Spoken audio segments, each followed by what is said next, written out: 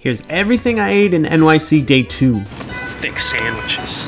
Potato latkes. Doug and I got some lox bagels from Russ and Daughters while Jeanelle was on a girl date. So I took advantage and took her boyfriend on a man date to get some amazing ramen. I got Ishida-san's signature truffle shoyu and probably the most beautiful bowl of ramen I've ever seen. For dinner, I got some pizza pie at Scarr's, which was a bucket list restaurant of mine. Got the famous jalapeno hot honey, and come on, man, how can you go wrong with that combo? Then we met back up with Jeanelle for some fancy ass tea. No, I don't know if my fans are gonna know you.